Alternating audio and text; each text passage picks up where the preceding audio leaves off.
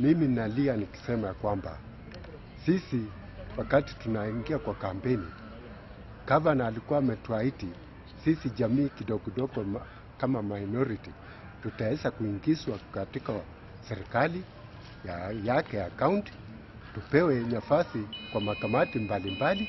lakini kufikia sasa miezi nane ile imekwisha, hatujaona chochote kenye ametufanyia sisi maeneo kabila kidogo kama Jaluo, Waluya, Wakikuyu, wa, wa support hatujaona chochote.